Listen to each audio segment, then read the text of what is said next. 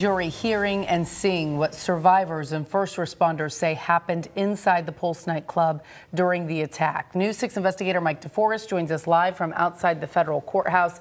And Mike, there was some very powerful testimony in court today incredible, Lisa. One of the first witnesses to take the stand for the government side uh, was a woman who survived the attack at Pulse. She said that while she was uh, trapped in the restroom, she pulled a dead body on top of her and played dead herself in hopes that Omar Mateen would not shoot her. During opening statements, Noor Salman's uh, attorney conceded that Omar Mateen committed an atrocity that morning, but they insist that the wife played no role in it. Hi there, this yes. is Orlando Police. Who am I speaking with, please? You're speaking with the person who pledged his allegiance to the Islamic State. As the trial of Noor Salman got underway, jurors heard the voice of her husband, Omar Mateen, as he spoke with a crisis negotiator during the standoff at Pulse nightclub.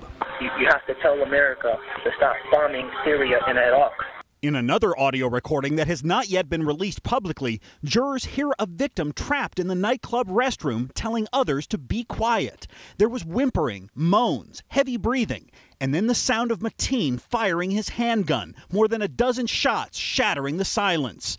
They had no cover. They were prey, prosecutor James Mandolfo told jurors. He said none of the victims could have anticipated the attack. No one knew except Omar Mateen and his wife, Noor Salman, the prosecutor said. But during opening statements, defense attorney Linda Moreno painted Salman as a simple woman with a low IQ who was unaware of her husband's sinister plot. The defense pointed out that Mateen scoped out Walt Disney World and a different Orlando nightclub before attacking Pulse. Omar Mateen didn't know where he was going that night, the defense told jurors, and if he didn't know, how could Noor know?